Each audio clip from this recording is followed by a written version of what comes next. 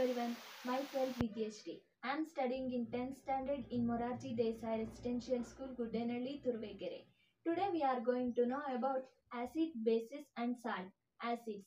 Acids are solutions in which they are sour in taste and they changes the color of blue litmus to red litmus. Similarly, bases.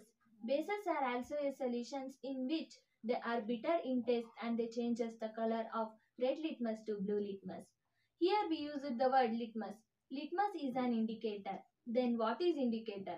Indicator tells us whether a substance is acidic or basic by changing the color. Indicator is not only litmus. Indicator has so many forms such as turmeric, methyl orange, phenolphthalein and etc. But we use the litmus as main indicator. Litmus has the pH value. The pH value is 0 to 14. Here 0 to 6.9 is considered as acidic and 7.1 to 14 is considered as basic. 7 is considered as neutral. Some of the acids are very harmful when they are in concentrated. When it comes to diluted, they are lesser harmful than concentrated. If they falls on our hand, paper or any surface, it will burns out. So we have to be very careful while handling the acid. Some of the acids which we use in our daily life, they are not harmful, such as vinegar.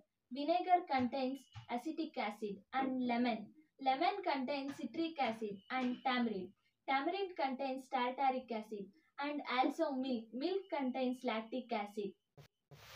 Now let us do an experiment on indicator by using turmeric. Let us now let us take a turmeric powder and add 2-3 drops of water and make a turmeric paste and spread it over the sheet and add some citric acid and vinegar.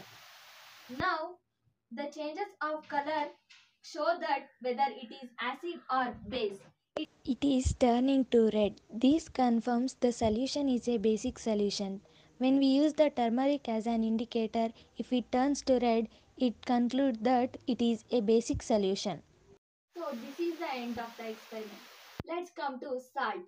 Salt has the pH value of 7. It means neutral. As we know that common salt that's obtained, we use it as raw material for various materials such as bleaching powder, baking soda and washing soda.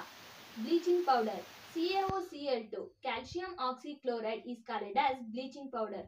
Bleaching powder is used for bleaching cotton and linen in textile industries and bleaching wood pulp in paper industry and bleaching cloths in laundry and it is used as oxidizing agent in many chemical industries and then baking soda NaHCO3 sodium hydrogen carbonate or sodium bicarbonate is called as baking soda.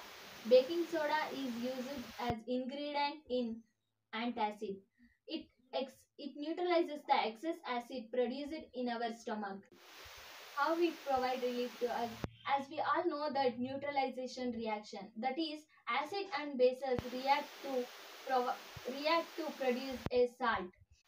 When we take antacid to our body it reacts with the excess acid produced in our stomach and provide produce salt and water like this they provide relief to us and then washing soda Na2CO3 into 10H2O. It means sodium carbonate and 10 molecules of water is called as washing soda.